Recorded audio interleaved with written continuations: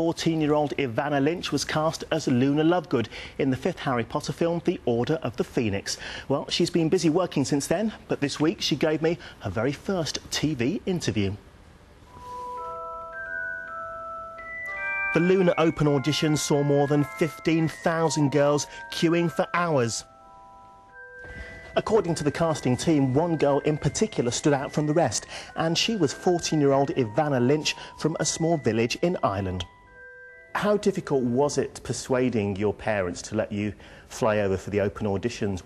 Well, my mum didn't want me to go. She thought I, I didn't have a hope, and um, well, then I told my dad, and uh, he he thought I should go because he knew I really wanted it, and um, so he brought me.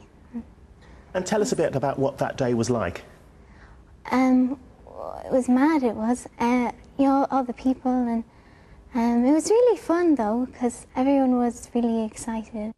For weeks I've been desperately trying to see if I can spot her in the footage we shot for the queue, but no luck. Oh, hang on, rewind. Oh, she's behind you. Stop talking and turn around, you idiot. Oh well, better luck next time.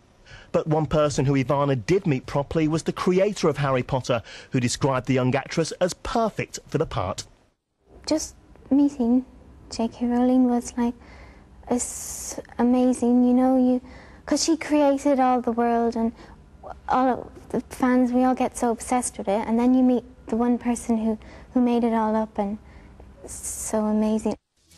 Katie Leung, who plays Cho Chang, had a similar experience for the last film, getting the part after a big open audition. She's giving Evanna lots of advice.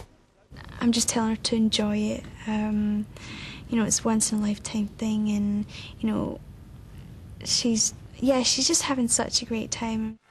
And Evanna's been a big hit with the other actors. Evanna's lovely. Evanna's sort of um, not a million miles away from Luna herself. I have to say, she is she is Luna. She literally is Luna. I can't tell the difference between her on camera and off camera. How similar do you think you are to, to Luna, and why do people like her so much?